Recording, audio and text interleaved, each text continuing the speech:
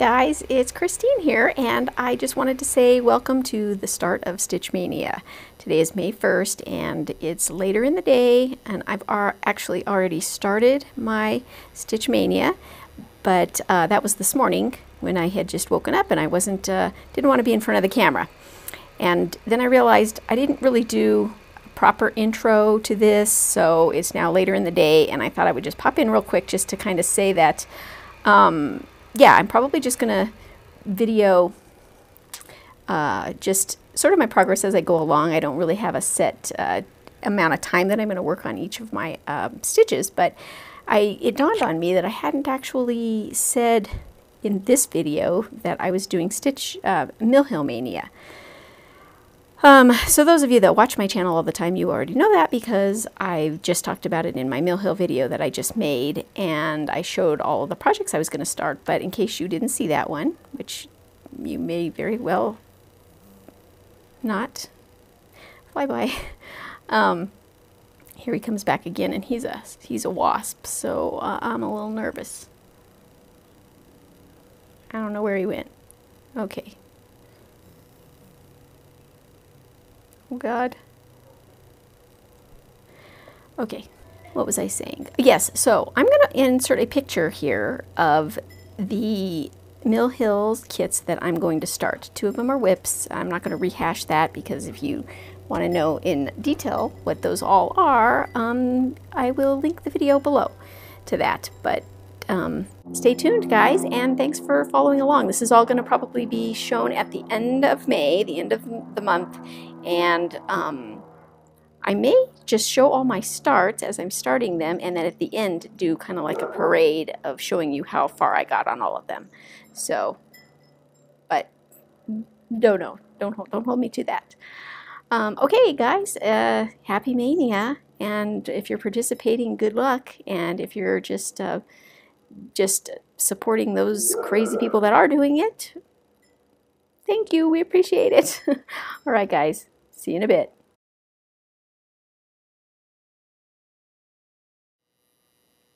Hey Stitchers, it's May 1st. Happy Stitch Maynia. I am sitting on my deck, as you can see. It's a beautiful spring morning. I have my hummingbird feeder set out, even though it's pretty early to see hummingbirds here. There have been reports that they are in the area. And so we'll see. I have it sitting out. And um, yeah, I've got a bag in front of me of all my Mill Hill kits that I'm going to work on this month. So I thought I would um, attempt to do, this is my attempt to do a vlog this month. Um, I'm not making any promises that I'm going to be successful at vlogging all month long. But I think one way is me not being in front of the camera. Then I have probably a pretty good shot because then I can, you know, record like I am now, where I just woke up not too long ago, and I am in no way, shape, or form um, ready to be in front of a camera at this moment. So here is my bag, and uh, these two that I have in the back are works in progresses, which I don't feel like working on today. I want to start something new. And then there's this one in front that I'm going to hold off, and I'm going to start this on May 21st because Sarah over at Stitchin' Mommy and I are going to um, do a little sal with that. So that one gets started on the 21st. So I'm just going to reach in here and um, just grab one of my small ones for today. Well, let's grab this one. What is it? Okay, it looks like it's root beer float, float, so that's a good one to start today, I think. And um, I have already pre-sorted all of the floss in all of my kits, so they're all ready to go. So I can actually just open this up and start stitching. So let's see here. Look at all those beautiful beads. And yeah, I don't think there's uh, anything more to really say about it other than the fact that I'm going to um, sort of leave it open as to how long I'm going to work on them. I, I because I have what like only nine or ten projects and there's 31 days in the month. That does leave me a little bit of um, options as to um, how long I want to work on each project and also if I don't get around to starting one or not. So this will uh, at least be given a couple of days So I think I'll check back here in a couple days and show you my progress on it and then we'll go ahead and pick another one after that.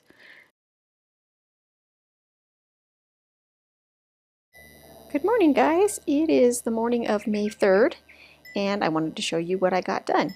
Actually, this was a pretty quick stitch and I'm happy to report that I completed it. So it didn't take long. I pretty much did all of the cross stitching in one day and then did the beading uh, the second day. So um, I finished it kind of late in the day last night and then I was going to pop in and show you what I was going to pick, choose for my next one. Um, but it was just kind of late and I didn't feel like recording, so I went ahead and um, did that too, so I have that to show. But I thought this turned out so cute, my little root beer float. Now, um, yeah, actually, because that was so quick, I may even add some more projects this month. We'll see.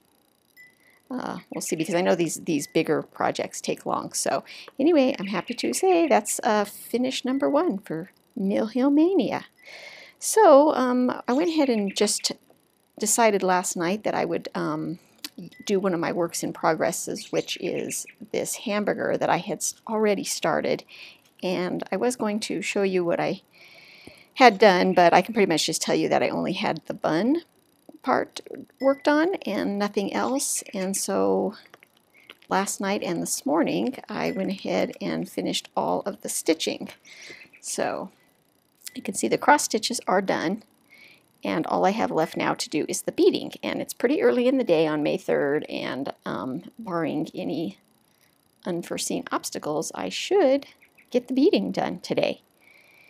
And just in case I do get that done and want to move on to my next project, I thought I would go ahead and um, choose that with you guys now so that in case it's later in the day, I can go ahead and get started on that and not um, feel like I need to record. So um, I'm kind of enjoying the small ones. I still don't think that I'm going to do one of my big ones yet, so why don't we go ahead and um, just reach in there and, well, it's not really a, I guess it's not really a surprise, but um, well, you know what? Since this one's right in front, let's just go ahead and start the tomato pincushion. So that will be the one I work on next uh, when I get the hamburger done.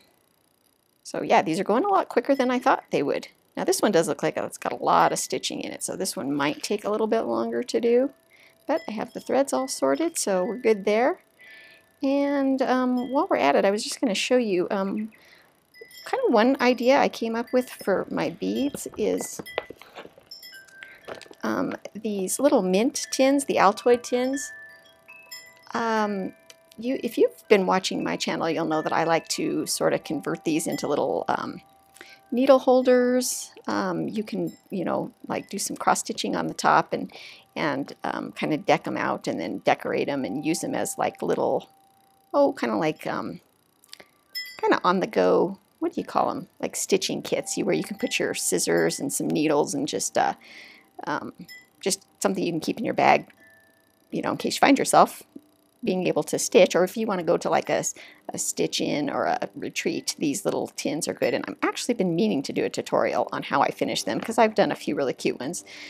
And anyway, what I've decided to do, you can get this really soft. It's um, you get it at the, the craft store. It's actually for beads. It's like a beading mat, but it's really soft. Instead of the sticky beading mats, this is just you, um, I don't know, kind of, it's like really soft, almost kind of feels like sort of plush velvet or something, hard to explain, but I get it at the craft store. It comes in big sheets and I cut it down to size and put it inside one of these Altoid tins. And then these are the extra magnets that come with the kits. They, the uh, Mill Hill kits always come with a magnet and I don't usually ever use them because I turn mine into ornaments. But and of course, each kit comes with a beading needle. So I actually keep a quite a, a, little set of all my extra beading needles in there. These beading needles are really tiny. So I always keep a beading needle and then a couple of those magnets in here. And then when I get ready to do my beading, I just dump some beads out into here.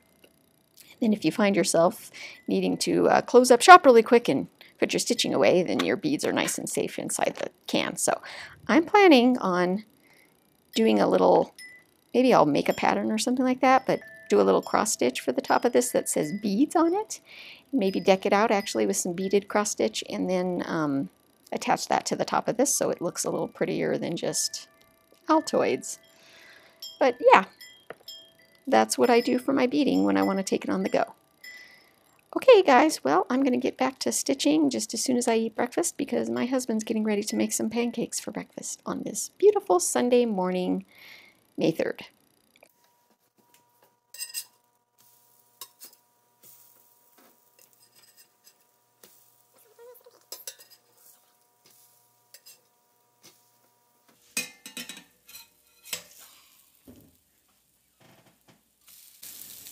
Can't win them all. Good morning, guys. It's May 5th, and uh, that means it's Maynia Day number 5. And I'm going to check in and show you where uh, my progress is. So I last showed you that I had the, I think I showed you that I had all the cross stitching done on the hamburger, and I am pleased to say that I completed it. These things are going really quick, so they take about two days it's been taking about two days for me to do.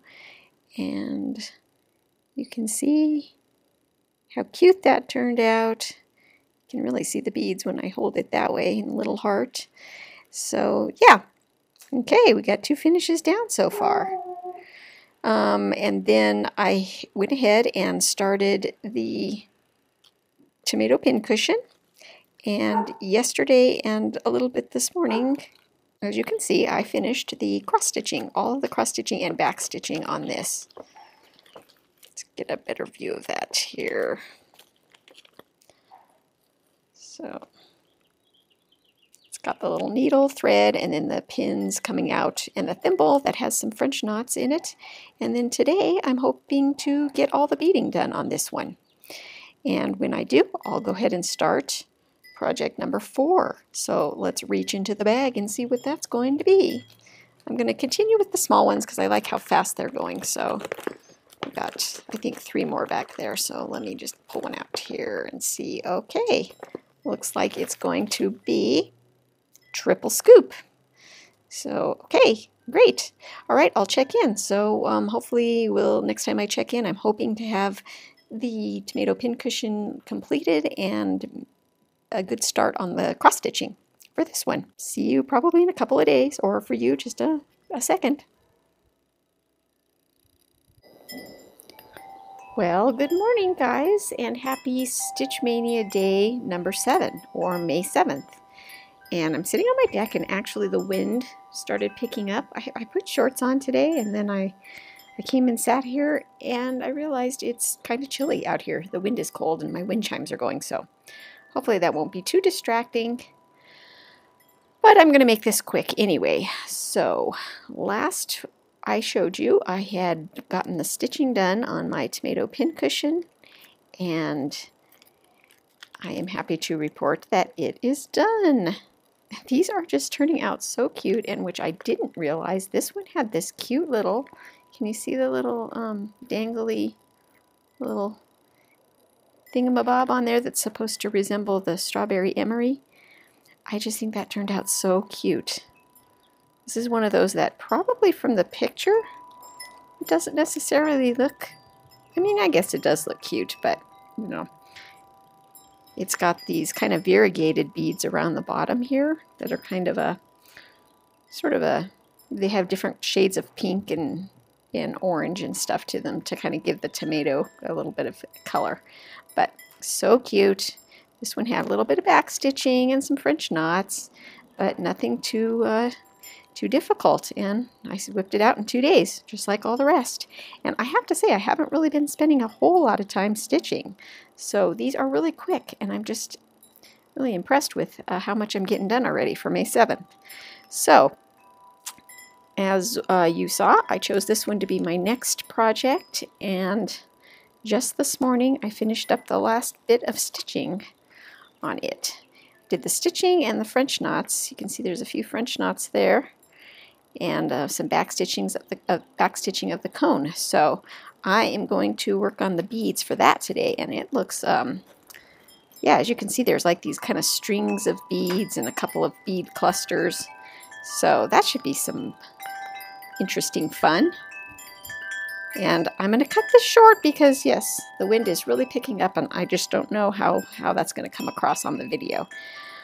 Um, so let's go ahead and um, choose my next project.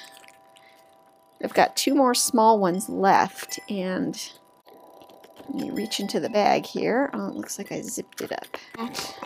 Okay, so the last two small ones that I have before I start the bigger ones are, are the um, pizza and the hedgehog. So, um, first I was thinking, oh, I've been doing all the food, so, I mean, well, I guess the tomato pincushion wasn't food. But this one looks a little more tedious because of all the little back stitching, uh, the, the little furs and stuff. So I think I'm going to do this one next because, um, I don't know, it just looks a little easier. And they're probably both only going to take me a couple of days to do, but uh, we'll just go ahead and do the pizza. We'll keep a, along with the food theme, and then I'll do the hedgehog. So I'll check in again when I have the ice cream cone hopefully done and a good start on the pizza. Okay, so all right, I'll see you in a couple of days. Well, good morning, guys. It's now the been a few days since you last saw my little progress report. It is now May 14th. And um, yeah, I didn't have a chance to check in, but I am happy to say that I have got some progress to show today. Um, yes, I have completed three more Mill Hill kits. So I think the last time you did, the last clip you just saw, I had done the stitching on the ice cream cone, the triple scoop, and was planning on doing the beading. So let's see my finish on that. I was kind of hoping the sun would be out. It's sort of overcast, and so uh, it doesn't quite show the color I was noticing on here, but you can see all those beads and how wonderful they look. I just would say that it probably is looking, it looks a little bit brighter pink than that shows, but still, didn't that turn out adorable? I'm not sure I did those beads correctly, but um, it still looks amazing and I love it. Let me see, maybe this might give it a better, if I put it in the shade, maybe that gives it a little bit, yeah, that kind of shows a little bit more of the true color, the pink on it. But so cute, so cute. And I just always get so hungry for these things when I'm stitching them. So, yep, triple scoop. So what does that make? Finish number four? I think that was finish number four for the month. Okay, so um, next up we had the pizza slice. Once again, made me hungry while I was eating it, and this is how that turned out. Like a real slice of pizza right there, pepperoni pizza. Once again, color's not quite right. Let me put it here next to the ice cream cone. Yeah, that's, that's looking a little bit better. There. So cute. So everything was just going along so smoothly until I got to this little hedgehog and I had a little bit of issues with him or her. I'm going to call her a her. So when I was sorting the floss, well here, let me show you how it looks in the end and then I'll show you my issue with it. Okay, so, oh gosh, is that just the cutest thing ever? So, so adorable. Okay, let me put that one right here. So you can see the colors on that one a little bit better.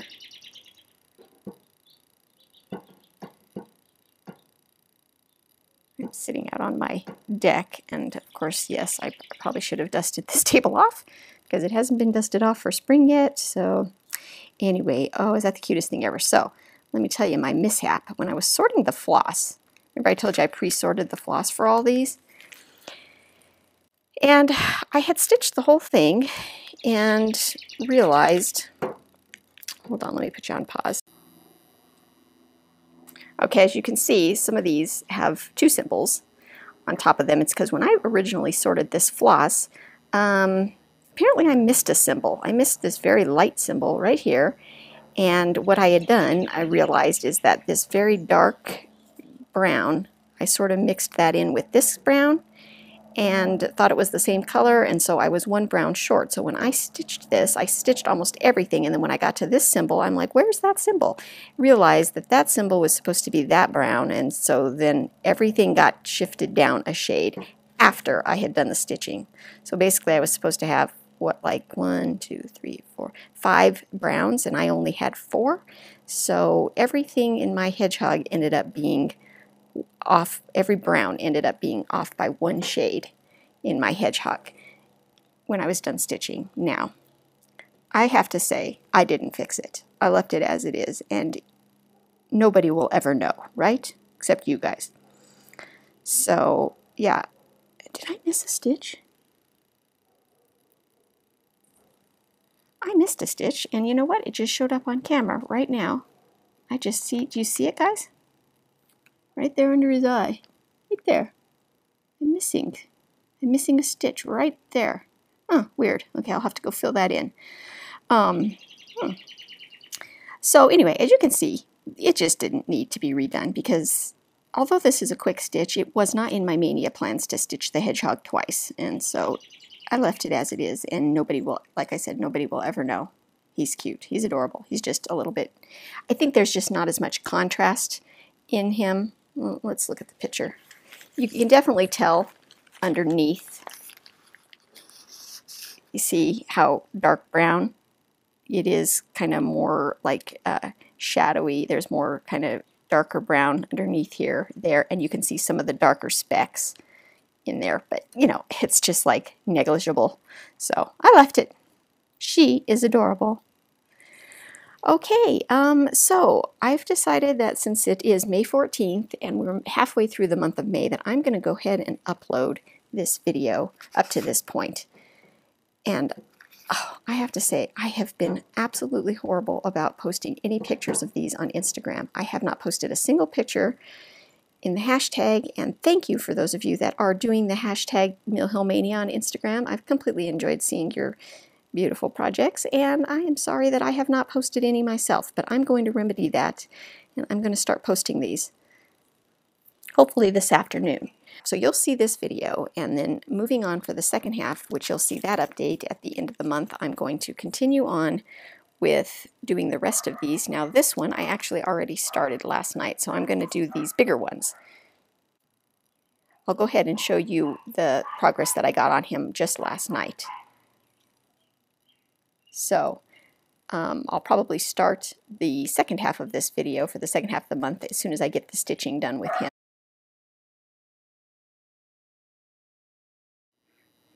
Okay, so I think the barking has stopped. Um, I just re really quickly want to say what I'm going to do work on on the second half of the month is going to be Yellowstone Santa, the Winged Monarch, Conch Shell, and this is a work in progress that doesn't have too much done on it, but I would like to uh, make some progress on ravens. Realistically, I don't expect to get any more finishes this month, except one. I'm hoping to get this guy finished, even though he's bigger than the ornaments that I just did. He's not quite as big as the, the other buttons and beads that have quite a bit of stitching in them.